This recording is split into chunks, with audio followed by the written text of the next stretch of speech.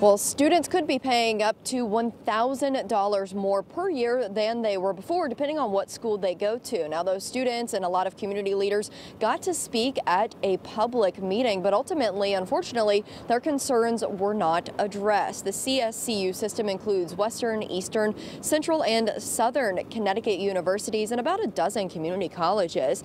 This 5% tuition and fees hike approved by the Regent Board is coming as the second increase in less than a year. Student and state leaders now saying they cannot afford to pay even more for the classes they're taking. While the students are paying more, the colleges are providing even less. Last month, the group announced cuts to faculty and class options, putting a hardship on students. Governor Ned Lamont has also said the schools are receiving a record amount of state funding, meaning they shouldn't be in as much of a deficit as they are.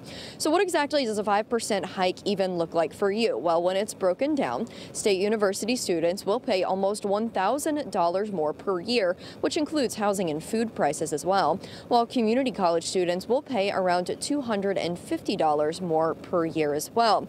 And students and state leaders say that as it's getting so expensive, they do expect less students to be enrolled every year. Now, if you are one of the students that does plan on steering the course and continue, continuing forward with your education here at one of these schools, you do have options as far as aid goes. You could get money on both the federal and the state level. Depending on which one you qualify for, those are options that are available to you.